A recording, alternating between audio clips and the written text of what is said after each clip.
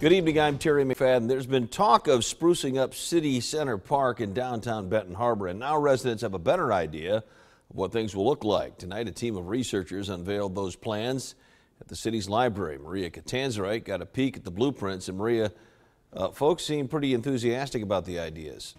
And they are, Terry. What was kind of neat is that you had the blueprints taped to the meeting room walls and people voiced their support not in the form of comment cards or drawn out dialogue. So instead, folks jotted their thoughts down on post-it notes, then put them on the pictures.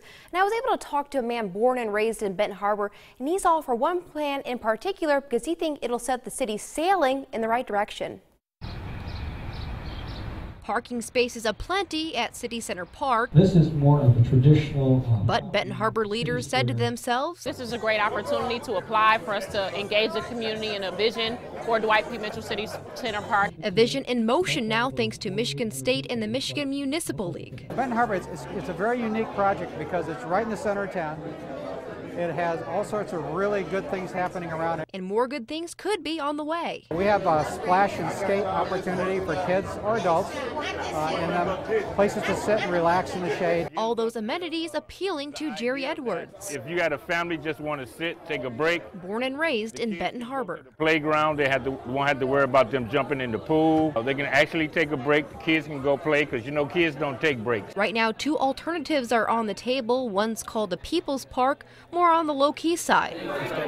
Though the second plan, Jerry's pick, said, the sails is what really adds a different dimension. Described as a traditional park, though to Edwards, the sails say something about the city. Just adds a kind of imagination to it.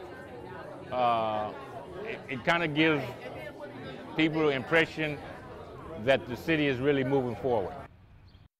And to take a look at all the blueprints for City Center Park, we're going to post those on our website, WNDU.com, and just click on the story. All right, so when could we see these changes coming to City Center Park? So it's kind of been described to me that this is the planning year for everything. Next year is when you can kind of see some of these things being executed, though it's still kind of up in the air. They're still trying to iron out some of the things, but the city leaders are pretty confident that something's going to take the space of all those parking spaces in that concrete lot. All right, Maria, thanks a lot.